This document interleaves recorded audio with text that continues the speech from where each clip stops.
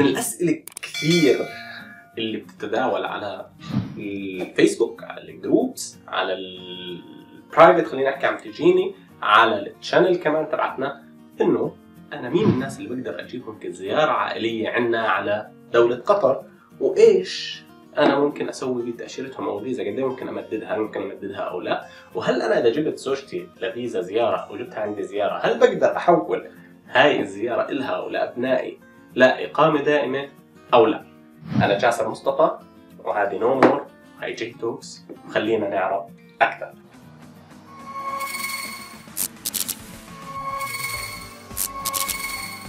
هلا خلينا نعرف دائما إنه أي مغترب سواء بدولة قطر أو بغير دولة قطر هو همه إنه هو حبايبه إخوانه قرايبه ممكن تجيهم زيارة على دولة قطر لأي سبب من الأسباب اللي ممكن إنه إحنا ندور عليها.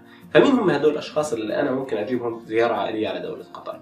معروف إنه أنت بتقدر تجيب أقارب الدرجة الأولى والدرجة الثانية والاصهار كزيارة عندك على دولة آه، قطر. طبعا بينطبق هذا الحكي أكيد على دول الخليج الثانية. وهدول الأقارب أنت خليني أحكي أنا عن الإخوان وعن الأخوات الأب والأم والزوجة. إذا أنت بدك تجيبهم زيارة عائلية فما عندك مشكلة. في عندنا في دولة قطر تطبيق اسمه متراش بتدخل عليه. بتقدم الطلب. هلا لما تقدم الطلب يطلب منك الأوراق الرسمية اللي إحنا كلنا بنعرفها راح يطلب منك شهاده ميلاد الشخص اللي بدك تجيبه عشان تثبت القرابة. راح يطلب منك صور جواز سفر اللي هي الصفحة الأولى والثانية اللي عليها الصورة والمقابل لها حتعمل لهم upload حيطلب منك كمان ال ID تبعك. آه، يعني الأوراق الثبوتية لأنك أنت تجيب هذا الشخص. وهو أكيد هو من قرابتك. قدمنا الطلب. شو بصير بعدين؟ ياخذ له يومين لثلاث أيام لحتى يتم القبول. تم القبول بتصير عندك الفيزا هي جاهزة للطباعة. لما تصير الفيزا جاهزة للطباعة بدك تدفع الرسوم والرسوم مش شيء كثير. 200 ريال للشخص اللي انت قدمت له على فيزا الزيارة العائلية. طبعا هالفيزا الشخص بيقدر يجي على دولة قطر. بعد ما دخل على دولة قطر معاه مدة شهر للفيزا اللي انت قدمتها على ال application بيقدر يكون عندك زيارة لمدة شهر وهاي الزيارة قابلة للتمديد لغاية ست شهور شهر واثنين وثلاثة وأربعة وخمسة وستة انت بتدفعهم كل ما تجدد له 200 ريال. بعد ست شهور تقدر انك انت تمدد مرات وتوصل لتسع شهور. بعد هيك بده يطلع برا البلد تقدر تقدم له على فيزا زيارة ثانية إذا بدك ترجع ترجع هيك خلصنا من الفيزا الزيارة. طب إذا أنا الفيزا الزيارة العائلية جبت مرتي وجبت أولادي مثلا جبتهم زيارة هل بقدر إني أنا أحول زيارتهم لإقامة عائلية. الجواب هو يس لكن في شروط في أوراق أنت بدك تقدمها.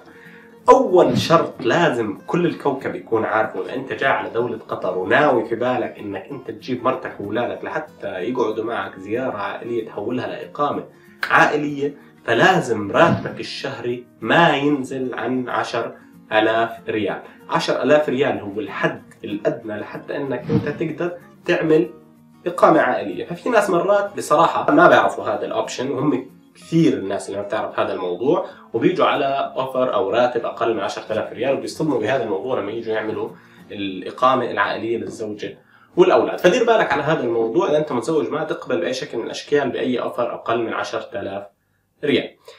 هلأ let's say إنه راتبك 10000 ريال فبدك تاخذ موافقة من وزارة الداخلية القطرية. أخذت موافقة من وزارة الداخلية القطرية بتنتقل للمرحلة اللي بعدها.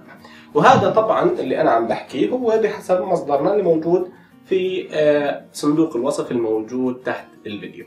أخذت يا سيدي موافقة من وزارة الداخلية بدك تتبع العملية لتحويل التأشيرة إلى تأشيرة اقامه على اسمك بحسب موقع حكومي القطري تدخل تاخذ المستند أو خلينا أحكي الطلب اللي أنت لازم تعبيه بتعبي المعلومات المطلوبة منك في هذا الطلب وبترفق المستندات اللي أحكي لك إياها حاليا واللي هي كيو اي دي اللي هو الهوية القطرية اللي بتثبت شخصيتك يعني.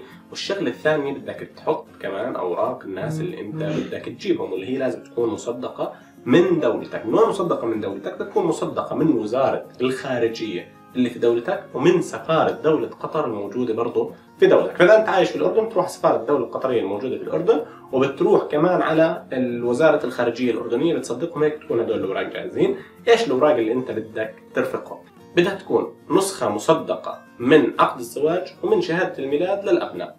وبدك ترفق جواز سفر ساري المفعول للأشخاص اللي أنت بدك تعمل لهم الإقامة اللي أنت بدك تقدمها وأكيد بدك ترفق نسخة مصدقة من عقد العمل تبعك انت واللي بثبت عليه الوظيفة وبثبت عليه الراتب اللي انت بتاخذه عشان يتأكدوا من وظيفتك ويتأكدوا انك انت عندك أكثر من 10000 ريال راتب.